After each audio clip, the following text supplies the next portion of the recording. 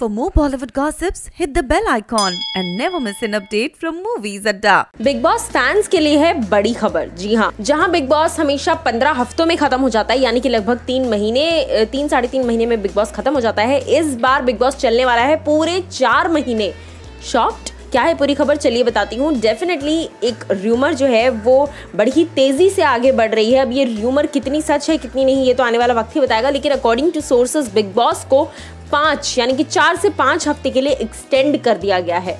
Shocking ऐसा एक बार पहले भी हुआ है सीज़न आठ में जब सलमान खान के पास डेट्स नहीं थे due to some reason Farah Khan को शो का होस्ट बनाया गया था और साथ ही साथ शो को जो है, वो थोड़ा सा एक्सटेंड कर दिया गया था। वैसा ही इस बार होने वाला है। शो इस बार पंद्रह हफ़्ते नहीं, बल्कि लगभग चार से पाँच हफ़्ते और बढ़ा दिया जाएगा। लगभग बीस हफ़्ते का ये शो कर दिया जाने वाला है। और उसका एक रीजन ये भी है कि ये बिग बॉस यानी कि ये सीज़न तेरह बिग बॉस का जो है, वो टीआरपी रेट्स में छप्पड़ फाड़ के आगे निकल चुका है। जी हाँ हाईएस्ट टीआरपी रैंकिंग काउंट की गई है बिग बॉस सीज़न तेरह की। डेफिनेटली शो का सेंटर ऑफ़ अट्रैक्शन है सिद्धार्थ शुक्ला, जिन्होंने इस शो में पूरी जान डाली हुई है। शो को एक कंधे पर उठा के वन मैन आर्मी वाला काम कर रहे हैं वो शो को आगे लेके जाने में। और साथ ही साथ शहनाज गिल हो गए, पारस छाबड़ा हो गए, तमाम ऐसे लोग हैं जिनकी वजह से शो की टीआरपी रेटिंग छप्पड़ फाड़ के आगे निकल रही है। और यही एक रीज़न है कि बिग बॉस के मेकर्स ने डिसीज़न लिया है कि इस शो को एक महीना और एक्सटेंड किया जाएगा।